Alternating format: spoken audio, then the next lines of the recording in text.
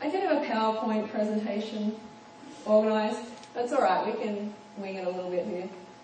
I want to talk about mono fruit island, which I've done quite a few times. I've done two weeks of mangoes, about, yeah, twice on just banana smoothies for about 10 to 14 days. I've done um, Datorade for seven days, and I ate over 500 dates that week. So 500 days. How many boxes is that? How many boxes? I think there's about 200 in a box. So it's like two and a half boxes. And oh, I was just loving it. You know, the thing about Mono Fruit Island is when you get to the end of it, some other people might be different, but I've heard a similar experience. When you get to the end of it, you just want more of that fruit. You know, you don't want to eat other fruit. Am I speaking too loud? No. Yeah, so you just want more of that fruit. It's an amazing experience. And I actually recommend people do it rather than fast. You know, I think fasting is totally abused all the time. You know, people shouldn't be going and fasting when they're perfectly able, they're walking around, they're fairly healthy, but they want to lose weight or something like that, something small. You know, if you go on Mono Fruit Island, you will, it, it's not about losing weight. You know, you probably won't lose much weight. I didn't at the time. It wasn't about that. But you can heal so many things. You can heal digestive issues, skin problems. And if you're trying to go 100% high carb or vegan, it can help you stay on track. Like it help, help you get on track, I should say. Another thing, what did I do? I did melons for almost a month. Melons for a month. That was pretty amazing. But melons, you don't really get enough calories. You know, melon's like a food that I call like a negative calorie food, meaning that it takes more to digest the food than the food actually gives. Like your body spends more calories to digest the food than what it gives. So your, your energy levels won't be that great. Bananas is always the best. Make melons and mango monomeals for 30 days. I highly recommend this. Like it, it really is an amazing experience. Has anyone thought about doing it? Yeah. Oh, yeah, good. Okay, I'm talking to the right crowd. so, a few of the benefits, amazing mental clarity and happiness. Like, I have that amazing mental clarity now and the happiness factor. But this just, it's like, I'm here, but Fruit oh Island is like, yeah, it's like, it's crazy. It's like the ultimate.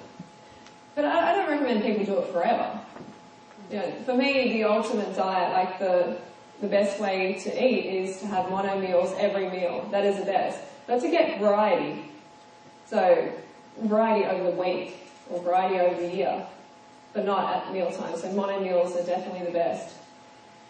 And your skin will clear up eyes, strengthen nails, hair shines more. It, it optimizes your absorption. Your absorption is going to be better when you're eating more simply. So if you've got, if you're having like the salads have been great here. I love them.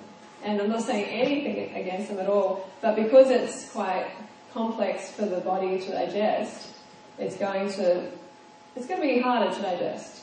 And it's going to take more energy from your body, from when your body could be healing things, it could be healing other issues that are going on. And you can see that just in the skin and the eyes and the hair, everything just goes up a level even further because that energy is not going towards the stomach to digest.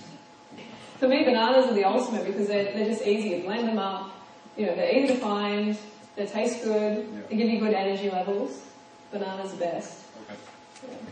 Yeah. Yeah, can you name like a half a dozen fruits that uh, would be a good option to do mono Yep. uh, bananas, mangoes? What else did you say? Melons? Dates.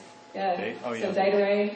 What Datorade. about pineapple? Pineapple My energy is my fantastic favorite with Pineapple. I wouldn't do it. No. No, just because it's too easy to eat unripe pineapples. Yeah. That you might be doing more damage than good. What about like kiwi? Kiwi? Kiwis have to be really ripe again. Gold kiwis, I wouldn't do green green kiwis. no way. Peaches? Peaches. Yeah, I, peach is my second favorite. Yeah, it's just all going to be really ripe. You've got to be experienced Yeah. with fruit picking. All right. Because if you're eating this large quantity of like unripe fruit, then you're, you're getting some negative side effects. So probably just bananas, dates. Bananas, dates, mangoes. Yeah. All right. Yep. They're the best. I can't really name more than that. I can't Sure. complain. What's that? I won't complain about that. Yeah. How about Apples? papaya? Papaya. Yeah, it, it's going to be hard to get enough calories. It's going to be really hard to get enough calories to fuel yourself. like you want to make it easy on yourself. You want to be on the, the diet and to enjoy yourself and be able to do all the things you usually do. Did you ever do apples? Apples, uh, not really enough calories. And it would be fine to do like heavy exercise and like weightlifting on monofood island. You can still do that, yeah. Just got to make sure you get enough calories. Yeah. I mean, like it's the ultimate in energy because it's so simple. So you'll have a lot of energy to do a lot of things. Wait, quick, quick. Yeah. Did you say that most of your meals are mono meals? Most, yeah, yeah, definitely. I just enjoy that the best. Tastes the best for me. Yeah. It's awesome.